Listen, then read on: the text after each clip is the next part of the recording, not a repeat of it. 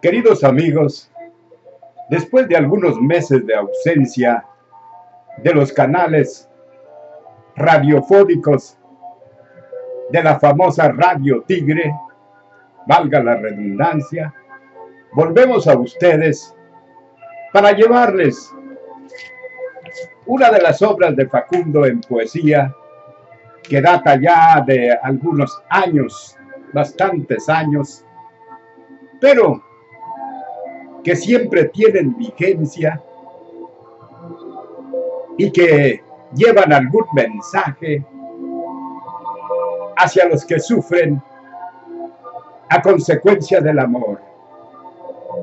Bien, la escuela facundiana escogió a Radio Tigre para que fuera su portavoz a través de este su servidor, el Tigre de Conjuá, quien va a tratar de declamarles esta vez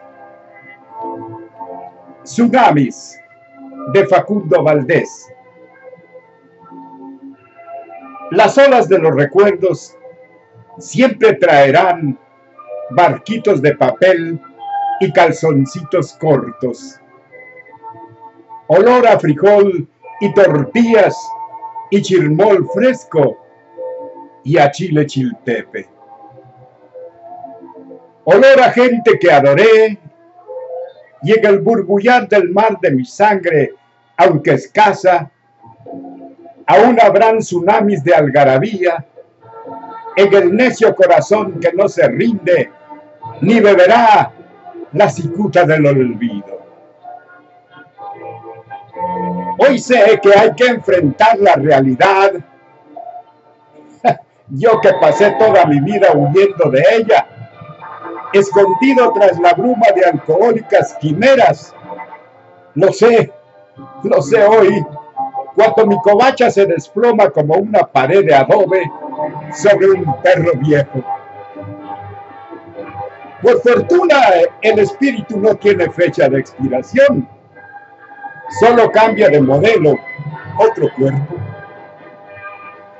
Llegué a ser grande en inteligencia, dijo Facundo, según mi propio concepto, sin darme cuenta que el filósofo no es nada y solo tendrá el crédito de haber puesto en palabras algunas verdades que nos fueron dadas y que son válidas solamente a través del tiempo. Usé mi belleza y perfume como una flor para atraer a las, a las abejas sedientas de mi miel. Cuando ya no la tuve, me enseñaron el trasero y me olvidaron. Hoy mi raíz está podrida. Me aproximo a la temida Xibalbá y en el póker final del juego de la vida que he jugado con la Quirina me encuentro sin verdes en la caja.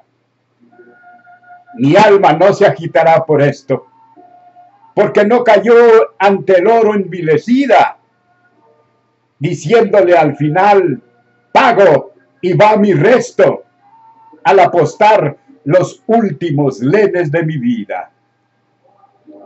Saldré de una vez por todas, mi ser astral se irá de su derruida casa, pero antes de irme voy a colgarle un rótulo para los que no me creyeron que rezará incrédulos, miedosos del saber. Beware. Bueno, a veces Facundo se sentía algo anonadado por la sordera, no de no escuchar poesías y música, sino la sordera que significa no escuchar la voz de la conciencia que nos llama a cada rato, porque podemos adquirir sabiduría. La sabiduría está proclamando en los campos y en todas partes de la vida. Así es que perdonamos a Facundo su su cólera de vez en cuando comprimida porque tiene una razón. Vivió entre dos mundos el mundo carnal y el mundo espiritual. ¿Quién triunfará al fin? Bien, eso solo lo sabe la conciencia universal. Muchas gracias y esperamos que nos sigan brindando su sintonía, que aunque fuera uno solo que nos viera y nos escuchara, nos sentiremos bastante felices. Que tengan un hermoso día